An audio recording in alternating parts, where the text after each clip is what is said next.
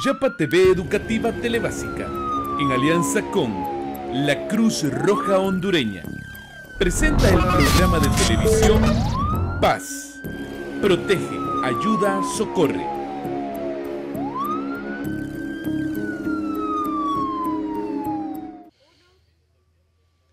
¿Qué tal amigos? Bienvenidos a una nueva edición de este tu programa Paz, Protege, Ayuda, Socorre. Como siempre, les saluda José Núñez, socorrista de Cruz Roja Hondureña. Y Wendy Reyes, técnico de urgencias médicas de Cruz Roja Hondureña. Hoy hemos salido nuevamente de nuestros estudios. Wendy está un poco nerviosa. ¿Por qué, Wendy? Demasiado, diría Wendy está yo. un poco tensa. Hay que disfrutarlo, Wendy. Estoy a punto de salir corriendo de aquí. Ustedes en casa se preguntarán por qué Wendy está tan nerviosa y por qué yo estoy tan emocionado. Y es que nos hemos venido al Serpentario del Parque Nacional de las Naciones Unidas, aquí en, eh, bueno, más conocido, Wendy, como el Parque del Picacho, pero en realidad se llama el Parque de las Naciones Unidas. Así es, vamos a, eh, vamos a trabajar con estos animales, lastimosamente para mí. Hermosos, hermosos animalitos. Vamos a conocer eh, eh, sobre el hábitat de estos animales, sobre el, qué tipo de estos animales son venenosos y qué tipo de, de serpientes no son venenosas.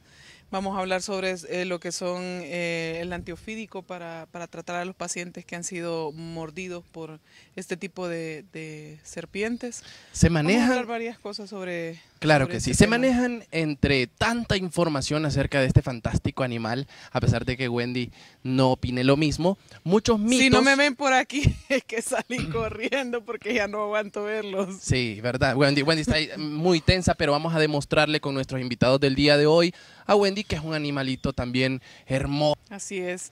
Entonces vamos poco a poco, vamos a ir conociendo estos animales, vamos a ir, eh, Rey va a entrar al serpentario con, con uno de nuestros eh, socorristas que también labora aquí en el parque y que tiene especialidad en, en lo que es eh, este tipo de animales. Claro que sí, va a estar con nosotros, como Wendy ya lo mencionó, una persona especializada en este tema. ¿Qué hacer y qué no hacer con la mordedura de serpientes? Le invitamos a usted para que no se levante de sus asientos y se quede disfrutando junto a nosotros de esta fantástica edición de su programa Paz. Ya regresamos. Thank you.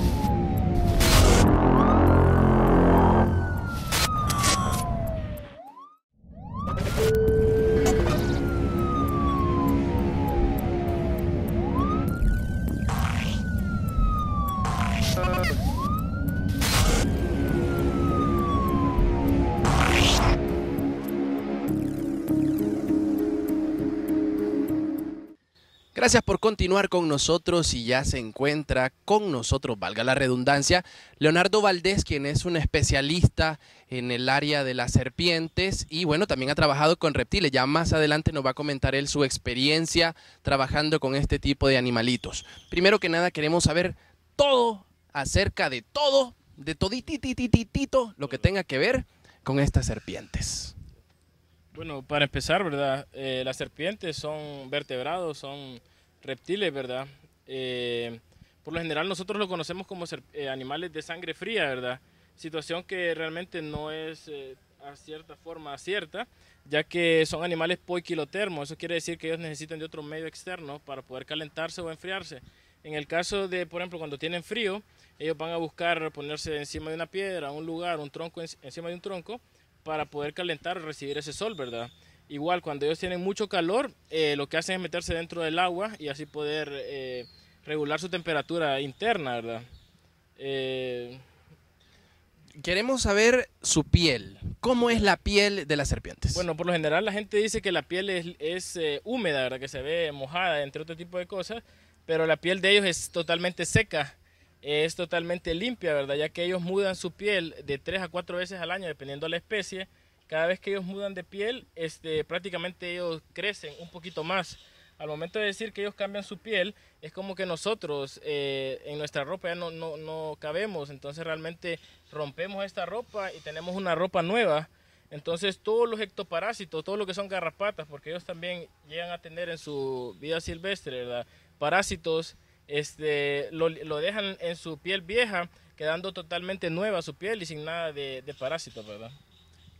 Estamos con Wendy, pero Wendy está así como en estado de shock. Por primera vez en la historia de Paz, nuestra presentadora se encuentra en estado de shock. Vamos a hacer el llamado de emergencia a nuestras líneas para poder atender a Wendy. Wendy, ¿por qué tanto miedo hacia este animalito? No sé, pero no puedo. ¿E-, ¿Es una fobia de, de niña? No sé, temor natural creo a este tipo de animales. A lo mejor puede ser porque Wendy no está bien, bien informada, Leonardo, acerca de las serpientes. Pues, ¿qué, qué tanto sabe Wendy de serpientes y qué no sabe? Que muerden y que uno se muere cuando lo, lo muerden las serpientes. Eso sé yo. Como dice la canción aquella, animal rastrero.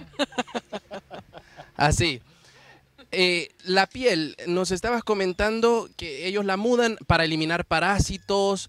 Eh, ¿Cada cuánto ellos mudan su piel? Bueno, como había comentado, ¿verdad? A- además de, mm, de liberarse ¿verdad? de esos ectoparásitos, lo utilizan al momento por su crecimiento, ¿verdad? Una vez que cambia piel, eso quiere decir que la serpiente eh, creció un poquito más del Sí. tamaño que él tenía normalmente, ¿verdad? Este, como otra de las situaciones, ¿verdad? Al momento de que ellos mudan su piel, mudan una escama, porque ellos son animales que poseen escamas, ¿verdad? Sí. Escamas pequeñas en la parte dorsal y en la parte ventral son escamas más largas, ¿verdad? Este, en el ojo, ya que ellos no tienen párpados, ellos no pueden cerrar sus ojos. Entonces, básicamente, al momento de mudar su piel, mudan la escama que cubre el ojo, ¿verdad? Sí. Por lo general, eh, al momento de que sufren esta situación de cambio de piel, el ojo se les va a poner un poco blanco, lechoso se le llama. Entonces es una forma de saber que la serpiente va a mudar. Su visión en ese momento Sí. llega a ser bien limitada. Entonces se podría decir que podrían estar más eh, listas a morder o, o- o- o su carácter va a ser más vulnerable, Sí. por decirlo así, ¿verdad? Este, como parte en sí de, de la serpiente, ¿verdad? Como habíamos dicho, son animales vertebrados, poseen su columna vertebral, su cráneo y un, en cada mm, em, vértebra, por decirlo así, tiene dos costillas. Entonces Sí. ellos están cubiertos en toda la parte Creo, creo, perdón que te interrumpa, Leonardo, creo que yo le voy a acercar el micrófono mejor a Leonardo, porque para, para que él, él nos explique mejor con su otra mano, nos estaba hablando acerca de las vértebras. Sí, de las vértebras, como habíamos dicho, ¿verdad? E- Él tiene su columna vertebral que le sirve de protección al momento de la serpiente. Aparte de su columna vertebral, tiene lo que son sus costillas, lo que hace que esta parte sea dura y sea protegida. O sea, por decirlo así, si uno la golpea, se para en ella, realmente ella amortigua, como son bien elásticas, ellas eh, amortiguan ese golpe y realmente no sufren tanto ese golpe. Otra de las situaciones es que sus órganos están divididos en todo su cuerpo, ¿verdad? Alargada, en forma alargadas, y dependiendo al tipo de serpiente, ya que hay tipos diferentes, ¿verdad? Hay arborícolas, hay marinas, acuáticas, eh, en terrestres, ¿verdad? Dependiendo a eso, la posición del corazón va a variar. Está en diferentes partes del corazón y este al, mismo momento, como habíamos dicho, que ellas son elásticas, al momento de comer sus presas, ellas tienen su tráquea, por decirlo así, donde sacan su lengua, eh, tragan la presa y realmente ellos no se ahogan. Por eso la gente dice, pucha, ¿cómo es posible que una serpiente no se ahogue al momento de comerse una presa grande? Son elásticas y se tardan bastante en su digestión, ¿verdad? Lo ha mencionado Wendy eh, Leonardo, que ellas son bastante elásticas, pero ¿cómo es posible que una serpiente pueda engullir un- un- una presa muchísimo más grande que ella? Bueno, para empezar, la parte del cráneo, ¿verdad? Eh, la parte de los colmillos y la dentadura, ¿verdad? Hablando un poquito sobre ellas, ellos tienen cuatro hileras en la parte superior, en la mandíbula superior. ¿Todas las especies o solamente algunas? Sí, todas las especies en sí. Y tiene una dos hileras, se podría decir, ¿verdad? Así como nosotros, se, podría decir doble hilera, este, de dientes. Aproximadamente tienen de 100 a 120 dientes. Este, no sé si se podrá enfocar. Dentro de, de esta mm, cajita yo tengo un ejemplo de un diente de una serpiente. Es una, de una boa. Entonces aproximadamente tienen de 100 a 120 dientes de este tipo. En el caso ¿verdad? de las serpientes venenosas, ellos tienen colmillos. En este caso es una serpiente aglifa, no posee colmillos. Eh, están, cuando estemos en la parte de serpientes venenosas, vamos a hablar sobre ese tipo de denticiones. Eh, al momento de que ellos tragan una presa, ellos desprenden toda su mandíbula y por eso ellos no quedan trabadas, ¿verdad? Al momento de huir una presa. Quiere decir que esta serpiente no es venenosa. Esta es una serpiente no venenosa y se le llama culebra, ¿verdad? Los términos en sí muchas veces no sabemos cómo llamarla. A veces nos preguntan, ¿es una culebra, es una víbora o una serpiente, ¿verdad? Entonces los términos lo vamos a determinar de esta forma. Culebra es una serpiente no venenosa. Venenosa. En este caso, esta sería una culebra. Víboras serían las serpientes venenosas y serpiente es cuando nosotros no sabemos si es venenosa o no venenosa. Entonces, cuando desconozcamos si es venenosa o no, vamos a llamarla como serpiente. Entonces, nosotros podemos decir como una generalidad que serpientes son todas. Todas son serpientes eh, la otra situación, ¿verdad? Muchas veces, a veces la gente nos pregunta, ¿la serpiente lo ha picado alguna vez? El término picar está mal empleado, ya que ellos poseen dientes, como lo mostramos. Entonces, la, la, parte real sería mordedura, o me mordió, o lo mordió. Eh, ¿Y cómo saber si es una serpiente hembra o macho? Bueno, por lo general, eh, no hay una especificación directa como para decir es hembra o macho, ¿verdad? por lo general, uno puede determinar dependiendo del tamaño de la cola. En cada especie varía, ¿verdad? Y también depende si no son árboles ya que las arborícolas usan su cola, ya que es prensil, para poder agarrarse de los árboles. La otra forma, eh, los machos tienen hemipenes dentro de su cloaca. Vamos a, a, buscar aquí lo que es la cloaca de esta serpiente. Mientras busca la cloaca de la serpiente, Leonardo, yo quiero preguntarle, ya que estamos hablando de la anatomía de este animal, ¿Cómo saber dónde empieza la cola? Y, bueno, pues yo diría toda, toda es cola la serpiente, solo tiene cabeza y cola. ok, si lo, si lo, vemos en esta parte de la serpiente, desde aquí empieza la cola hasta llegar a la parte de la cloaca. Las escamas eh, em, de la parte ventral vamos a ver que son divididas, ¿verdad? En la parte de la cola y en esta parte aquí no hay costilla, ¿verdad? Ya de donde está la cloaca en adelante, vamos a ver que ya están completas. Hay cloacas que pueden ser divididas o pueden ser placas enteras está toda la parte de su cuerpo hasta llegar a la parte de la cabeza y vamos a ver que las escamas de la parte debajo de la cabeza son totalmente distintas, ¿verdad? Son más pequeñas, más largas y ya no son horizontales como la parte vertebral, ¿verdad? Ventral. Pues dices como, qué bonito. Una vez que se ha alimentado la serpiente, más o menos cuánto tiempo tarda para volverse a alimentar. Bueno, eh, eso también varía bastante dependiendo de la, la, especie, ¿verdad? Y el tamaño. Hay serpientes que son pequeñas. En el caso de Honduras, por ejemplo, la serpiente más grande es la boa, la boa constrictor, que llega a crecer hasta 4 o 4.5 metros, ¿verdad? Este, son serpientes que pueden comer no como la gente dice venados, pero sí tal vez un venadito pequeño, o sea, venados grandes no, venados pequeños, no puede comerse una persona, eh, a menos que sea un niño pequeño o animales mamíferos pequeños, ¿verdad? Eh, en serpientes venenosas eh, está el barba maría, que es la serpiente más grande, que llega a crecer 2.5 metros de longitud. Y eh, la alimentación varía bastante, ¿verdad? Dependiendo a la, serpiente. Hay serpientes que son ofidiófagas, en el caso de esta serpiente, ofidio, serpiente, faga, alimentación, entonces ella se alimenta de serpientes. Esta es una serpiente sumamente mansita, ¿verdad? Y en su hábitat ella se alimenta de barba amarilla, que es de la serpiente más venenosa a nivel de Centroamérica. Entonces podríamos decir que es un controlador biológico. Y la gente, por ejemplo, ella habita más o menos en la zona de Olancho, em, gracias a Dios. La gente de la zona que la conoce no las mata porque saben que ellos se alimentan de barba amarilla que pueden ocasionarle la muerte a ellos, ¿verdad? ¿Cómo puede una serpiente no venenosa alimentarse? Exactamente, no puede matarla la barba amarilla a esta. Por lo general, eh, ellas son inmunes al veneno de esta serpiente, ¿verdad? Dependiendo de la especie de la serpiente, ¿verdad? Este, la otra es la agilidad. La barba amarilla, al ser más grande, más gruesa, y al saber que la serpiente se va a alimentar de ella, la otra serpiente trata de huir y ella trata de seguirla hasta agarrarla y comérsela, ¿verdad? Este mm, como otra de las situaciones, ¿verdad? En forma de las serpientes, eh, la alimentación, como habíamos explicado, ella también se alimenta de huevos. O sea, no solo serpientes. Muchas veces dice la gente, ah, pero las serpientes solo comen ratones. Eso es falso, ¿verdad? Hay serpientes que comen, por ejemplo, 100 pies, no son inmunes a ese veneno, a ese 100 pies, ¿verdad? El género es colopendra, pero ellos tratan de una u otra forma buscar la manera de comérsela. Hay muchos casos que la serpiente se llega a comer este escolopendra y muchas veces el escolopendra internamente llega a comérselo antes de que llegue la digestión, ¿verdad? De, este animal. Bueno, qué interesante. Vemos nosotros, si repetimos, Leonardo, ¿cuál es el nombre de este animal? Bueno, el nombre común es una zumbadora negra. El nombre científico se llama Clelia clelia, ¿verdad? Clelia, Clelia, ya vamos a hablar nosotros un poquito acerca de las clasificaciones, de los mitos también y de las realidades que existen en el mundo de las serpientes. ¿Ya más relajada, Wendy? No, para nada. ¿Todavía está así medio tensa? Sí. Bueno, ya vamos a tener una sorpresa para Wendy dentro de unos cuantos minutos y segmentos, así que usted no puede... Me encuentran. sí, porque posiblemente se la coma una de las serpientes. Entonces... ya regresamos con más de paz. Thank you.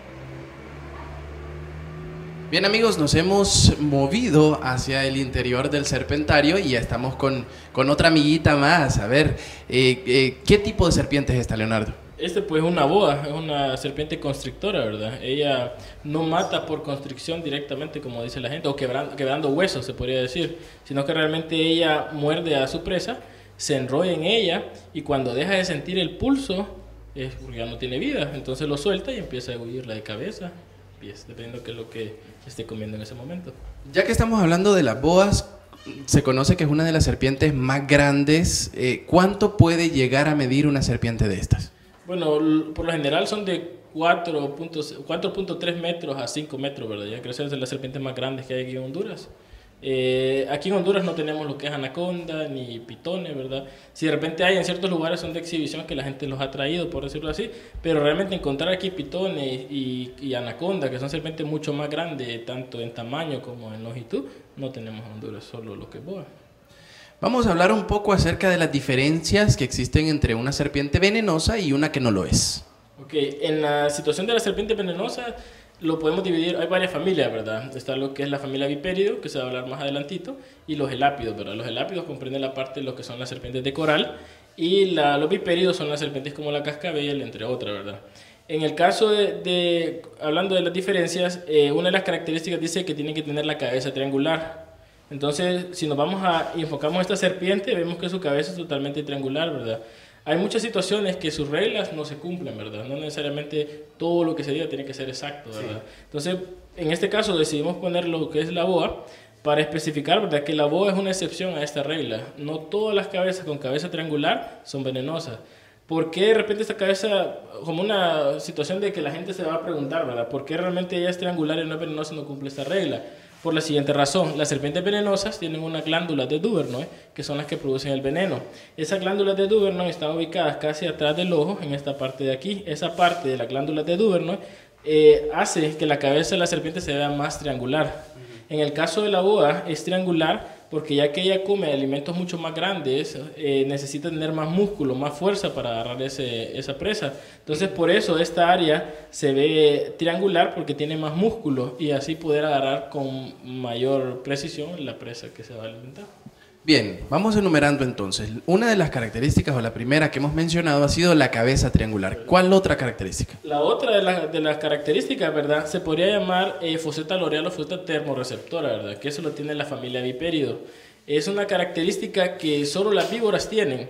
Por, todas las serpientes en general miran a blanco y negro, todas las serpientes. Solo hay una familia que puede ver a colores y se sabe que ve a colores porque tiene conitos y bastoncitos que son los que hacen para poder ver el, color, ¿verdad? Que en Honduras solo está en el Parque Nacional La Tigra, que es del género Thamnophis o tamaga de agua. Eh, esa foseta loreal o termorreceptora está ubicado entre la fosa nasal y el ojo, haciendo un triángulo hacia la parte de abajo. Si de repente podemos enfocar, ¿verdad? En el caso de esta cascabel, eh, podemos enfocar que entre su fosa nasal y su ojo haciendo eh, una parte hacia abajo, tiene un orificio más grande que la fosa nasal. Esa foseta loreal les sirve a ellos para poder identificar el calor de la presa a su alrededor. Entonces, ¿qué nos quiere decir esto? Esta es una serpiente venenosa, es una cascabel, lo que están enfocando ahorita, ¿verdad? Esa serpiente de cascabel, este, como todas las serpientes hemos dicho, ve a blanco y negro. Ella ahorita, aparte de ver a blanco y negro, está sintiendo el calor de cada uno de nosotros. O sea que ella sabe que hay, de repente, dependiendo cuántas personas estemos aquí, la cantidad de, calor, ¿verdad? Es como la película del depredador, ¿verdad? Que se miraba, que él miraba todo en negro y de repente las presas o las personas las miraba color rojo. Entonces es una faceta termorreceptora que es una de las características de serpientes venenosas. Bien, llevamos dos características ya. Cabeza triangular y fosa loreal. ¿Cuál otra? La otra se podría decir que son la pupila elíptica, ¿verdad? O la pupila en forma de, como los gatos. Eh, ¿Por qué elíptica? Pues la mayoría de viperios son de hábitos nocturnos. En el caso de, de, la boa también de hábitos nocturnos, ¿verdad? Entonces, por lo general, la visión se mejora al momento de, de tener su pupila elíptica. Entonces, ellos por lo general salen de noche. Por eso, si ustedes se enfocan ahorita al lado de las cascabeles, entre otras serpientes venenosas, vamos a ver que están enrolladas en posición prácticamente de, de descanso o durmiendo, ¿verdad? Y como habíamos explicado en, el sector, en la parte anterior, ellos no tienen párpados y por eso duermen con sus ojos abiertos, porque no pueden cerrar sus ojos. ¿Existe alguna otra característica, Leonardo? Bueno, de repente podríamos decir que en el caso de los elápidos, o sea, las serpientes de coral, eh, la sucesión de colores, ¿verdad? Que hace la palabra rana, que sería rojo, amarillo, negro, amarillo, y en su eh, otra de, la, de, las coloraciones, por decirlo así, es rojo, blanco, negro, blanco, cambiando el amarillo por blanco, ¿verdad? Esa es la, la, situación de corales que son tricoloreados. En Honduras tenemos cinco especies de corales y hay tanto tricoloreados como bicoloreados, ¿verdad? Que es rojo y negro nada más. Eso podría ser otra de las características. Y dentro de los elápidos, o sea, de las serpientes de coral, es la ausencia de una de las escamas loreales. Pero para eso tiene que tener experiencia ustedes, saber agarrar a la serpiente, agarrarla, verla si la tiene o no la tiene, para poder estar seguro si es o no, por decirlo así, lo falso o no falso coral o verdadero, pues. Sí, conocemos otro tipo de serpiente que es bicolor, solamente tiene dos colores. ¿Cómo saber si es venenosa o no, o si todas las bicolores son venenosas? Bueno, como habíamos dicho, ¿verdad? Bicoloreadas, eh, solo rojo y negro, ¿verdad? En el caso de Honduras, ¿verdad? Hablando en la parte de Honduras, porque hay otras especies que sí tienen corales eh, de otro tipo de colores, de otros tonos. Pero la, en sí, en corales, la más exacta es agarrando la serpiente y ver si tiene o no esta escama loreal. Y con eso podemos identificar de un falso de un verdadero coral. Así que si usted va caminando por ahí, por algún sendero, por algún camino y ve una serpiente bicolor o, bueno, cualquier tipo de serpiente y usted no sabe distinguir si es venenosa o no, lo más recomendable sería alejarse. Alejarse, sí, como eh, situación de, de, aconsejar a la gente, ¿verdad? Cada vez que nosotros andemos en algún lugar dentro del territorio nacional o fuera del territorio nacional y nos encontramos en nuestro sendero una serpiente, es muy común que a la hora del sol podamos encontrar una serpiente en nuestro camino. Eh, mucha gente a veces por la imprudencia de quererla agarrar, manipular o ser el héroe ante su grupo de amigos o amigas, intentan manipularla, ocasionando en esta persona un accidente, ¿verdad? Lo mejor en este caso es, si la serpiente está en nuestro camino, tratar de desviarnos y seguir nuestro propio camino sin molestarla. Si vamos a tomar fotos, tomémoslas a una distancia prudente. Es como toda persona, usted está en descanso alguien lo va a molestar, usted va a ser el primero en molestarse, ¿verdad? Entonces la serpiente es lo mismo. Manejamos así como un dato a lo mejor general que la serpiente tiene más miedo de nosotros que nosotros de ella, pero ¿hay alguna serpiente en Honduras, Leonardo, que, que por instinto sea violenta, sea agresiva? Bueno, por lo general, como se había dicho, todas las serpientes en sí le tienen miedo al humano. Ellos al ver el tamaño de la persona y ese tipo de cosas tienen miedo y por lo general salen huyendo. Muchas de las serpientes se quedan en el lugar donde están por la situación de que tienen mimetismo, entonces pueden mimetiz eh, mimetizarse con el ambiente, haciéndose pasar de repente parecido a un tronco o parte de algo externo, de la tierra, de la planta o qué sé yo. Entonces a veces quedan inmóviles para que de repente nosotros eh, pensemos que es otra cosa y no una serpiente, ¿verdad? Y así no poder hacer nada. Así, una vez ya ella sintiendo su miedo, estando en, como habíamos explicado antes, que va a cambiar piel y todos ellos están más susceptibles, ¿verdad? A querer atacar o querer morder, entre otro tipo de situaciones. De repente la única serpiente que no le tiene miedo al ser humano, podríamos decir que es la serpiente venenosa Barba María, que muchas veces sabiendo el potencial que ella tiene en su veneno, se queda en su propio lugar y no se mueve de su sitio, ¿verdad? Bien, eh, refiriéndonos al animalito que tenemos con nosotros ahora, que es una boa constrictor, eh, ¿cómo, ¿cómo, se siente? Es decir, ¿está apretando el brazo? ¿Cómo está ella? Bueno, por lo general ella está eh, no apretando, ella solo está haciendo su fuerza para mantenerse en el lugar. Recordemos que no tienen brazos, entonces ella no puede agarrarse de mí, pero ella necesita estar segura. Entonces lo que ella hace es agarrarse de mí con poquita fuerza, pero no me está eh, como decir así, ahorcando, qué sé yo, como dice la gente, ah, ahorcar la serpiente, ese tipo de cosas. Por lo general ese tipo de constricción lo hacen al momento de que agarran una presa, inmediatamente con una velocidad increíble se enrollan en su presa y eso es lo que habíamos explicado antes con la parte de constricción. Excelente. Vemos que las escamas de, de la boa son bastante grandecitas, tiene un, una parte de brillo, en alguna parte nosotros también hemos visto o hemos leído que una de las características de las venenosas es que poseen poco brillo en sus escamas y las venenosas lo tienen, sí, las que no, perdón. E, Esa es otra de, la, de, las características que se podría utilizar, ¿verdad? Que las escamas, eh, hay diferentes tipos de escamas. En el caso de la boa es una escama lisa, totalmente lisa. En el caso de las serpientes venenosas, si podemos volver a observar lo que es la cascabel, vamos a ver que la escama es quillada o doblemente quillada, entonces al momento de tocarla vamos a sentir no lisa, sino que vamos a sentir una pequeña, ah, un poquito áspero, por decirlo así, pero es debido al tipo de escamas que ellas poseen, ¿verdad? Entonces, pero igual, son siempre suaves, eh, lo único que cambia es el tipo de escamas que poseen, ¿verdad? Sí. ¿Cuántos años ya, Leonardo, trabajando con este tipo de animales? Bueno, con serpientes y ese tipo de cosas, aproximadamente 8 o 9 años ya, ¿verdad? ¿Algún accidente alguna vez? Gracias a Dios no. Siempre yo creo que hay que ser bien prudente, ¿verdad? Siempre, como se dice, primero nuestra seguridad, después nuestra seguridad y siempre nuestra seguridad antes que todo, ¿verdad? Entonces yo pienso que primero, ¿verdad? En todo tipo de aspectos es de estar seguros uno mismo antes de hacer algo. Con las serpientes no son juguetes, no son juegos para nosotros manipularles y jugar con ellas, no son mascotas, son animales de la vida silvestre que necesitan estar en, su, en su ambiente, ¿verdad? Entonces si por X o razón llega una serpiente a su casa, pues trátela con respeto, así como la va a tratar con usted, y trate de sacarla o de ver cómo la mueve de su lugar, o llame gente especializada que la puede ayudar, ¿verdad? En ese momento. ¿Qué hacer cuando una serpiente lo muerde a uno? Eso lo vamos a ver más adelante, así que usted quédese en compañía de paz.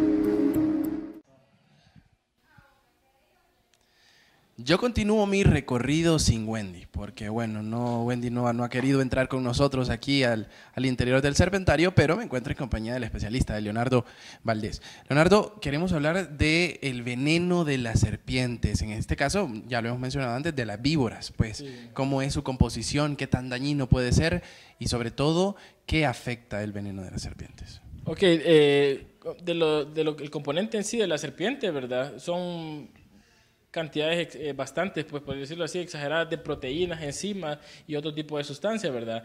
En sí las enzimas son los que le da el color amarillo al veneno, por eso el veneno de la serpiente es color amarillo. Eh, de los tipos de veneno hay pues dos grandes eh, grupos, por decirlo así. Están los neurotóxicos y los hemotóxicos, ¿verdad? Los hemotóxicos son los que dañan en sí lo que son la sangre, los glóbulos rojos, eh, puede producir hemorragias y coagula en sí la sangre ¿verdad? De, las personas o del animal que mordió la serpiente.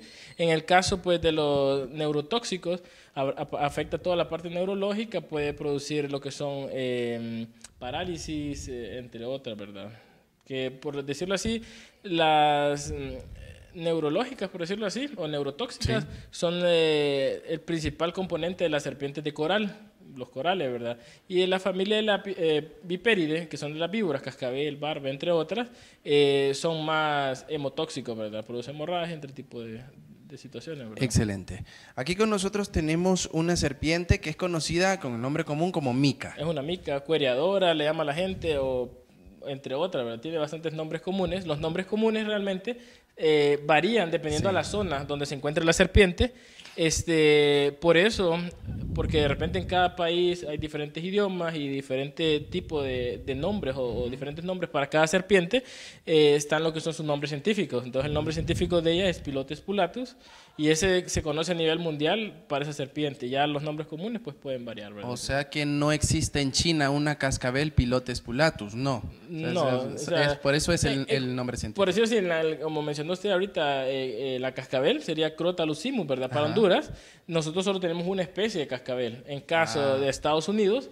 ellos tienen más de 10, 15 especies diferentes de, de, serpiente y tienen una variedad de géneros, Cistrurus, Crotalus, entre otros, ¿verdad?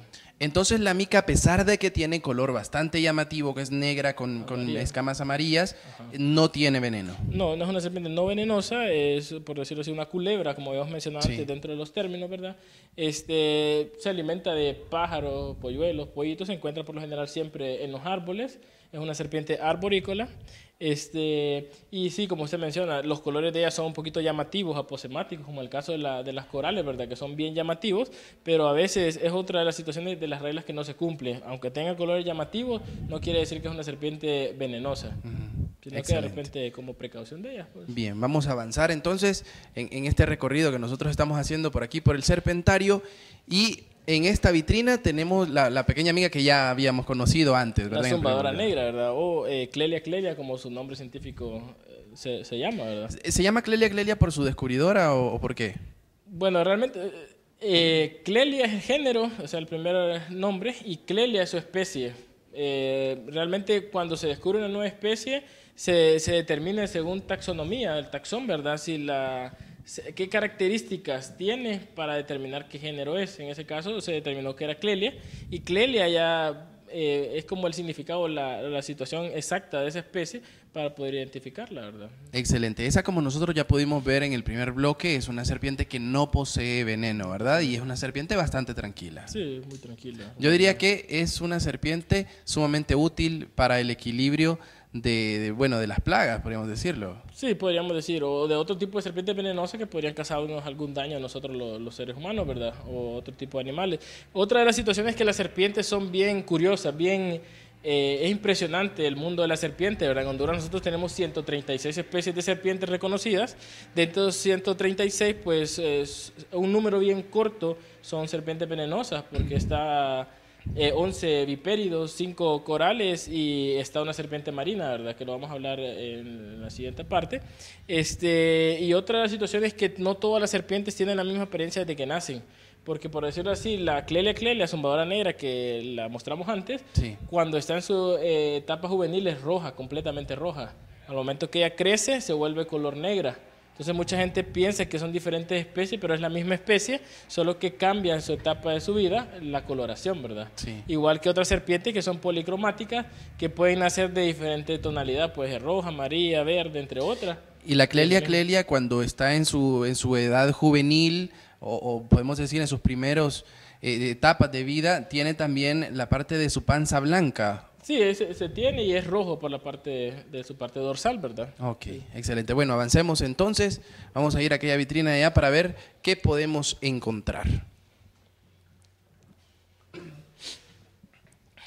¿Qué tenemos aquí, Leonardo? Bueno, en el caso de esta eh, terrario tenemos lo que es el famoso Barba María, ¿verdad? Fer de Lance o entre otros, ¿verdad? Tiene muchos nombres, ¿verdad? Dependiendo la localidad y dependiendo la zona, ¿verdad?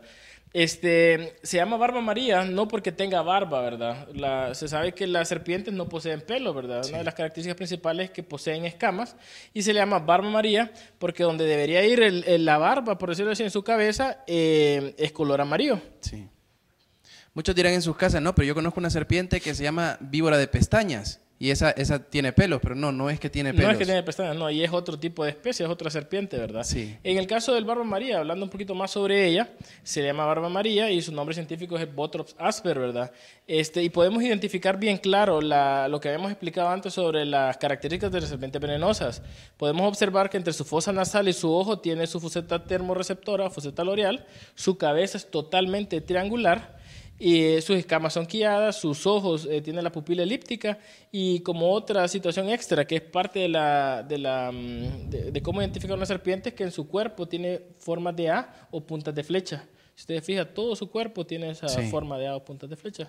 Entonces podemos ver que todas las características las posee esta serpiente. ¿Qué tipo de veneno posee el barba María? Es hemotóxico, ¿verdad? Eh, afecta más que toda la parte de la sangre, es hemorrágico, ¿verdad? Puede producir hemorragia y es necrótico, o sea, por lo general hay necrosis en la mordida, ¿verdad? Es una de las serpientes más peligrosas porque se dice que en los historiales clínicos a los 10, 15, 20 minutos la persona puede estar con hemorragia interna, hay destrucción de órganos internos y la persona puede escupir sangre, puede... Sí.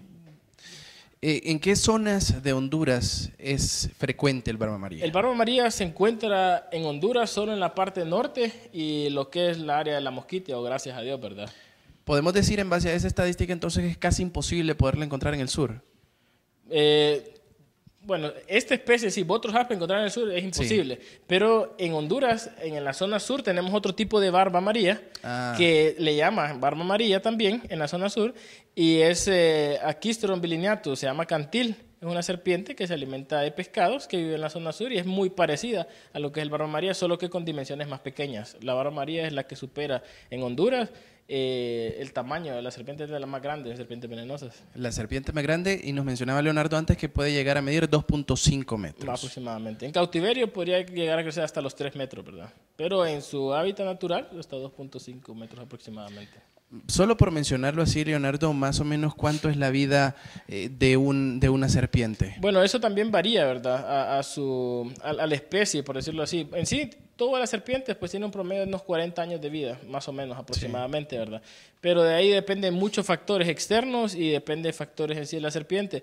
Uno de los problemas principales que está teniendo la serpiente es de repente una destrucción de su hábitat y por ende no tiene alimentación, o sea, animales vivos que ellos se alimentan de la zona porque de repente no tienen, ¿verdad? Entonces eso puede afectar el tiempo que ellos pueden vivir.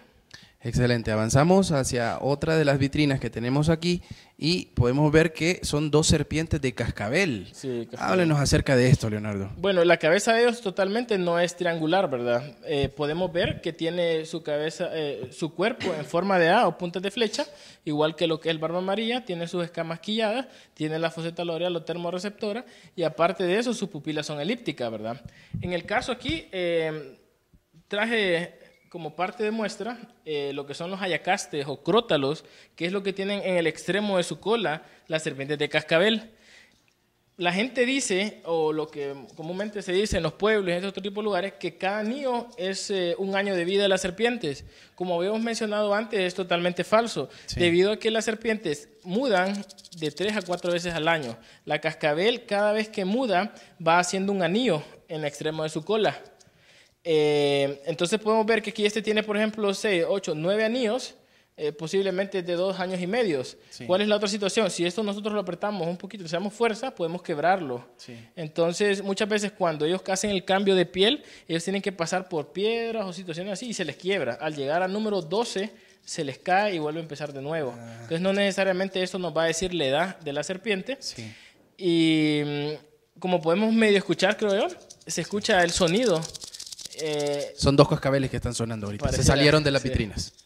Pero la situación es que ellos lo hacen con mucho más eh, velocidad y más fuerza. Entonces el sonido se escucha a distancias más largas. Cuando están enojadas van a mover su, mover su cola. Eso lo hacen en sí todas las serpientes, pero solo suena en la cascabel porque ellas se les hace este acásteo-crótalo en su extremo de su cola. Pero en sí todas las enojadas, cuando las, perdón, todas las serpientes, cuando se sienten eh, atemorizadas o con miedo, entre otro tipo de cosas, mueven sus colas, ¿verdad? Como había mencionado, el cascabel hace el sonido de... Otro de los mitos, eh, eh, si me lo permites un momento más, Leonardo, otro de los mitos, dice la gente, si usted es guitarrista y lo mete dentro de su guitarra, eh, usted va a ser un, un músico diestro, dice la gente. Sí, dicen también lo mismo, pero es, o sea, no hay un fundamento científico que nos diga que eso va a ser cierto, ¿verdad? Los mitos realmente, hay bastantes mitos en las serpientes, como el caso de, del espilotus pulatus, la mica que estábamos viendo antes, que la gente dice en Olancho, es famoso en el departamento de Olancho, aquí en Honduras, dicen que la serpiente, si un hombre se mete con una serpiente de esta un cuarto, con un machete y le aguanta no sé cuántos, 15 minutos, nadie lo va a aguantar en una pelea con machete, ¿verdad? Eso es totalmente falso. Eh, empezando porque la serpiente no tiene un filo en su cola para poder cortar y cortarnos hasta hueso, ¿verdad? Sabemos que tenemos hueso. Es imposible realmente ese tipo de mito, ¿verdad? Bueno, vemos también que es parte de lo bonito de la idiosincrasia de nuestros pueblos y del folclore que se maneja, los mitos, volvemos y recalcamos mitos que se han ido pasando de generación en generación.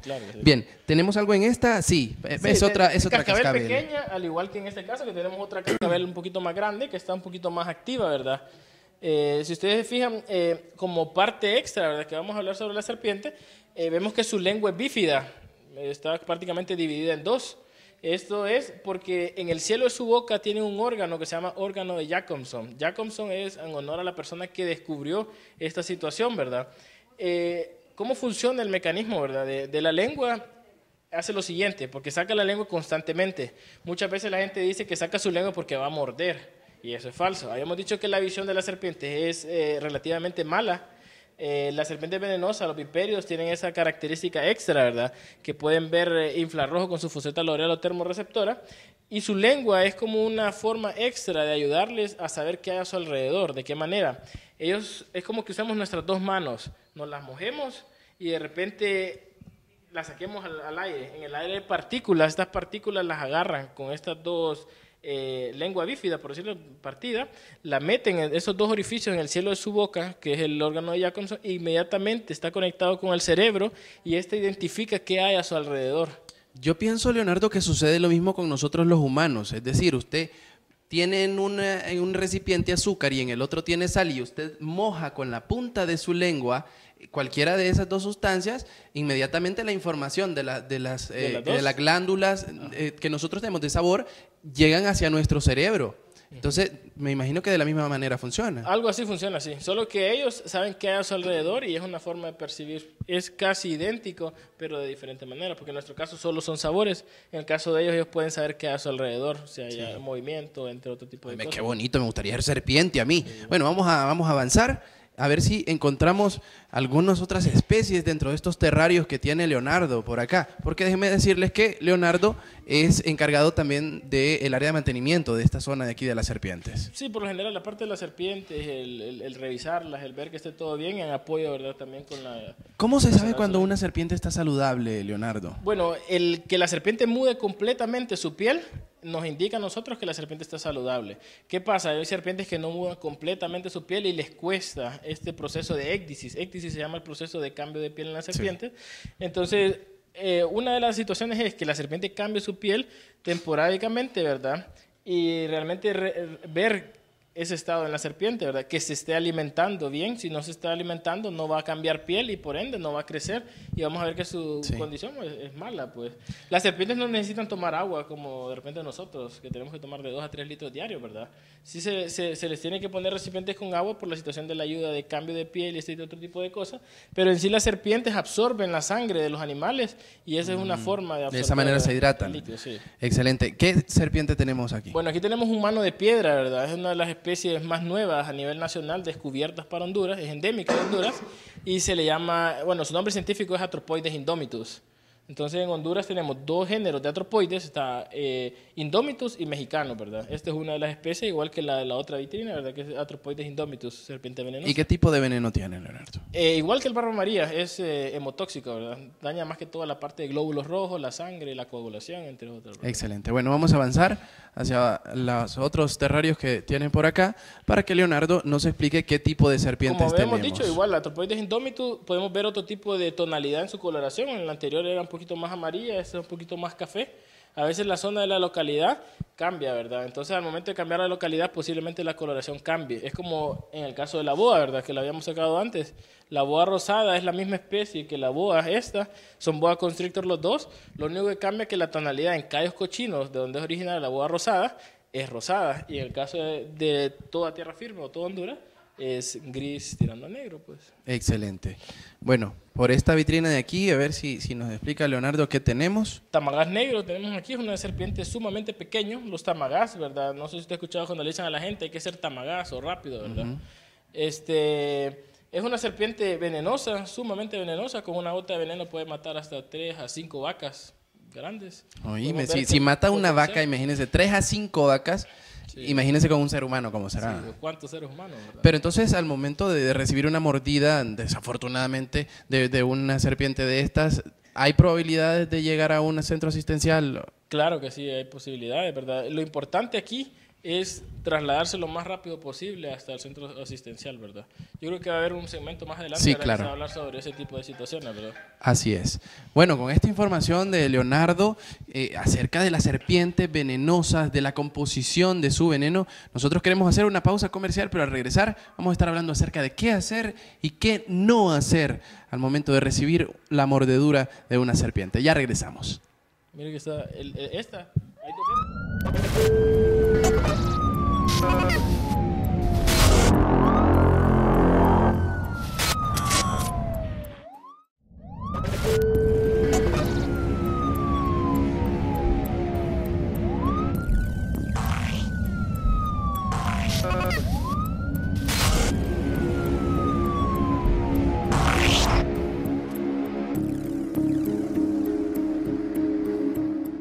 Gracias por continuar con nosotros y bueno, hemos tenido un recorrido fantástico eh, conociendo serpientes, conociendo víboras y conociendo culebras, que bueno, ya vimos nosotros cuál es la clasificación de ellas y los tipos de veneno, pero nos encontramos con otra persona y su nombre es Cindy. Cindy, ¿qué tal? ¿Cómo está?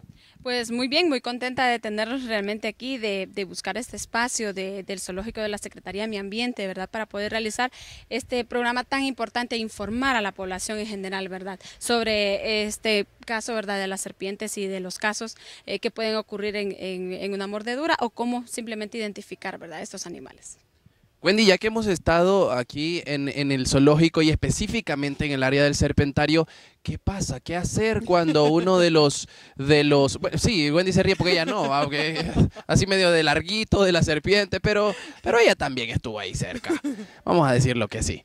¿Qué pasa, Wendy, cuando uno de los encargados del mantenimiento de las serpientes es mordido por una serpiente venenosa? Nos va a explicar un poquito, Leonardo, qué es eh, el tratamiento que se le dan a las personas cuando han sufrido la mordedura de una serpiente venenosa? Bueno, básicamente, ¿verdad? Eh, hay dos tipos de, mordedura, por decirlo así, aquí en Honduras, ¿verdad? la que eh, duele y la que no duele. No, mentira, todas duelen. Dependiendo al grupo o a la serpiente o dependiendo a, los síntomas, ¿verdad? Se podría trabajar porque se trabaja más que todo por síntomas. Está el anticoral, ¿verdad? Que es el suero que se utiliza para las cinco especies de serpientes venenosas de coral aquí en Honduras. Y está, que es el monovalente o anticoral, así se llama el suero. Y está el polivalente, que es para las otras serpientes, que son de la familia Viperido, como barba amarilla, cascabel, tamagás, entre otras, ¿verdad? Los dos sueros son totalmente distintos y solo porque me mordió una serpiente venenosa no quiere decir que vamos a aplicar el suero. Ah, es que yo aprendí que era anticoral y me voy a poner anticoral porque me mordió una, una coral, ¿verdad? Antes de aplicar un suero antiofídico es bien importante los síntomas, que la persona realmente se vean esos síntomas. Por eso es bien importante que si una persona llega a ser mordida por una serpiente, acudir a un centro eh, eh, hospitalario, ¿verdad? Por decirlo así, donde se manejen sueros antiofídicos. Por lo general, el hospital escuela eh, o hospitales públicos manejan los sueros antiofídicos ya que son de alto costo, ¿verdad? ¿Cuáles son los síntomas que presenta una persona que ha sido mordida por una serpiente, Leo? Bueno, por lo general, en la situación de mordedura de coral, paraliza lo que es el elevador del párpado, entonces la persona eh, se va a ver como que esté a sueño o se va a ver con párpados caídos, que le dicen, o dormitado también, ¿verdad? Este, la otra situación produce asfixia, la persona no puede respirar, ¿verdad?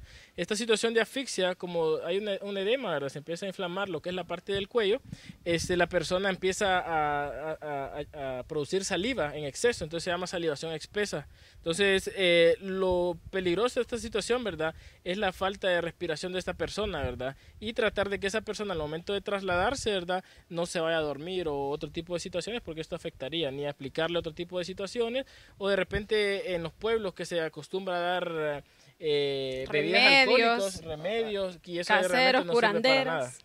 Entonces, vendría siendo esto una reacción anafiláctica, lo que le produce al paciente. Algo parecido a eso, sí. Como lo habíamos visto con, la, con los tipos de shock, estábamos viendo el shock anafiláctico, que es por una reacción alérgica, a, ya sea un medicamento, a una mordedura de serpiente, a todas esas situaciones, lo habíamos visto en capítulos anteriores. Y en la situación de los polivalentes, ¿verdad? O de las víboras, eh, los síntomas son totalmente distintos. En esta situación se va a ver un, edema en el lugar, va a haber una necrosis, va a haber eh, pérdida de tejido, ¿verdad? Eh, va a haber, es hemorrágico, entonces puede producir hemorragia, no en todas las serpientes del género de la, de la familia vipéridos, pero sí en la mayoría. Por eso no se recomienda hacer incisiones o cortes al momento de, de una mordedura, porque esto puede producir que la persona muera más de una hemorragia y no realmente del veneno, ¿verdad? O mucho menos tratar de hacer una succión, ¿verdad? Eh, con la boca, ¿verdad? en la parte donde le ocurrió la mordida, porque más bien esto puede empeorar. Recordemos que la saliva del humano, ¿verdad? Tiene muchas bacterias eh, naturales para nosotros, pero eso puede eh, afectar más la parte de la mordedura y más bien podemos acelerar el proceso de de descomposición exactamente de la parte donde le mordió la serpiente. La otra situación de la succión, ¿verdad? De repente yo fui mordido y viene de repente alguien a hacer la succión, ¿verdad? Me viene a hacer la succión. De repente ya no vamos a hacer dos los envenenados, ¿verdad? Sino que no, no va a ser uno, sino vamos a hacer dos. ¿Por qué? Porque todas las personas por lo general o tenemos caries o, o nos mordimos o, tenemos una, o nos quemamos tomando un café caliente. Entonces al momento de que esa persona succione va a entrar en contacto, ¿verdad? Este veneno que está en todo el torrente sanguíneo de la persona. Entonces vamos a necesitar doble dosis. La dosis iniciales, este, al saber, al presentar síntomas, son cinco ampollas dependiendo del caso, si es anticoral o monovalente o polivalente, ¿verdad? Dependiendo de la severidad, ¿verdad? Pueden ser hasta 10 o posiblemente, si es muy grave, hasta 15 ampollas las que se necesita aplicar a una persona, ¿verdad? También eso depende de la contextura de la persona. Por ejemplo, en personas más delgadas, ¿verdad? Va tal vez a recurrir menos de las ampollas. En el caso de las ampollas que nosotros tenemos las muestras y de que nosotros como zoológico contamos con un lote, ¿verdad? Eh, como parte de nuestro protocolo, protocolo de emergencia, ya que nosotros trabajamos con animales vivos y y, este, venenosos que tenemos como parte de nuestra colección. Eh, eso va a depender, ¿verdad? En el caso de nosotros, como le decía, eh, utilizamos el suero, que es... Em, elaborado por parte del Instituto Clodomiro Picado de la Universidad de Costa Rica, que es eh, el único a nivel eh, regional, ¿verdad?, de Centroamérica, que se encargan de producir este, veneno, eh, este antiveneno. Entonces, nos explicaban los expertos que valga este, la oportunidad de hablar de ello. Nosotros tuvimos una capacitación por parte de la Universidad de Costa Rica, vino al Instituto Clodomiro Picado a Honduras y nos capacitó, incluso Cuerpo Bomberos estuvo presente, Copeco y otras personas que o trabajamos o estamos muy relacionados, ¿verdad? Al momento de ocurrir un caso eh, de serpientes, en este caso, pues ustedes como Cruz Roja también, nosotros estamos compartiendo este conocimiento. Eh, ellos nos explicaban que en el caso de ellos son 10 ampollas, o si es una persona, eh, como dice Leo, que está muy afectada, son 15, o si la persona es gordita, van a ser más de 15 ampollas, ¿verdad? Eso dependiendo de la contextura de la persona. O sea que yo solamente necesito como medio frasco, ¿no? Tengo entendido eh, que este, este suero también puede producir reacción, reacciones anafilácticas en el paciente. ¿Qué tratamiento tendría que darse entonces en este caso, Leonardo? Bueno, por lo general, eh, hasta el momento, lo que estamos mostrando ahorita es suero producido por eh, eh, Costa Rica, ¿verdad? Pero en la actualidad, ¿verdad? Ya hay sueros más especializados que lo produce Bioclon, una empresa de México, que son sueros sintéticos donde usted no tiene que hacer pruebas alérgicas, como el caso de esta. Usted tiene que hacer una prueba eh, subcutánea, sensibilidad o eh, por medio del ojo, ¿verdad? En este tipo de, de, suero ya usted no ocupa ese tipo de situaciones, son bien seguras y su cuerpo no reconoce sentido todo después. La, la, la única problemática de repente con estos sueros es que después de una aplicación o después de un accidente, la segunda aplicación su cuerpo ya reconoce estos antídotos y posiblemente ya no le hagan efecto.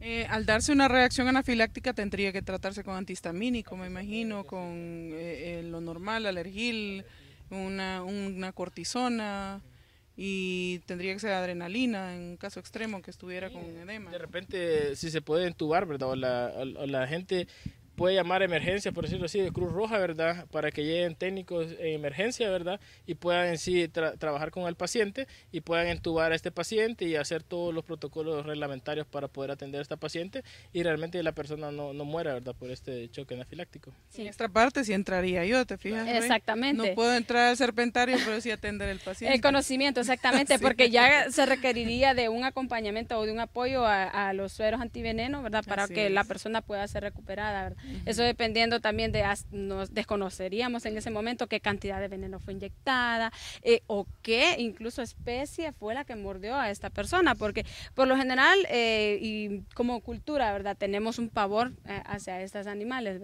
pero realmente el desconocimiento más que todo es lo que nos hace dudar, ¿verdad? Y ante la duda la gente actúa y no necesariamente puede ser de la mejor manera. Entonces por eso es importante que identifiquemos por lo menos qué animal es, porque al momento de ir al hospital, no, me mordió una serpiente y tal vez no sea ni venenosa, le aplicamos los sueros antiofídicos y lo matamos solo de aplicación de suero antiofídico, Entonces es bien complicado, es una situación bien complicada y realmente es tan importante y tan vital tener el conocimiento de, de esto, ¿verdad? Porque a medida van pasando los años, como hablaba Leo, eh, estos animales van perdiendo su hábitat, eh, están más en contacto con nosotros los humanos, entonces eh, hay más incidencia de, más casos de mordeduras de serpientes, ¿verdad? Entonces por eso es tan necesario, tan básico y bien importante realmente que ustedes hayan tomado en consideración hablar de este tema que es tan importante hoy en día. Se maneja otro de los mitos también, no, no quiero despedirnos sin mencionarlo, porque a veces la gente en los pueblos lo comete y hablábamos eso con Leonardo hace un momento el hecho de que cuando, cuando una serpiente lo muerde a uno y en el caso de que sea venenosa, dicen, hay que buscar esa serpiente y morderla de nuevo. Dicen por ahí, suena, ¿cómo, cómo nos lo mencionaba Wendy? No, no se puede. Una idea hasta tonta, extremadamente tonta. Leonardo, la otra situación ahí, ¿verdad? Eh, recordemos que los médicos, ¿verdad? O los técnicos de urgencias médicas o las personas de emergencia desconocemos a veces de, la, de, los tipos de serpientes. A nosotros de nada nos sirve de que la persona que fue mordida nos traiga la serpiente que la mordió. Si usted fue mordida, recuerde, nosotros vamos a actuar dependiendo de síntomas. Tenemos que ver los síntomas que usted presente y de repente las características, ¿verdad? En este caso, si fue eh, de, colores y presenta síntomas como los que mencionamos antes, posiblemente sea una serpiente de coral, ¿verdad? Y necesitemos antídoto, antídoto eh, monovalente o anticoral. Y si de repente tenemos otro tipo de síntomas y la serpiente fue más grande y nos nos da ciertas características como ayacaste o crota en el extremo de su cola, en el caso de la cascabel, pues nosotros vamos a actuar con otro tipo de síntomas, ¿verdad? Pero ya estos ya son más cuidados prehospitalarios, eh, eh, intrahospitalarios, ¿verdad? Pero nada de andar mordiendo la serpiente. ¿verdad? Nada de andar, sí, ni, o- ni acudir a chamanes que van a eso, de que hay muchos mitos y dicen las personas, por ejemplo, en Olancho se dan o en, en los lados donde la agroindustria a nivel de país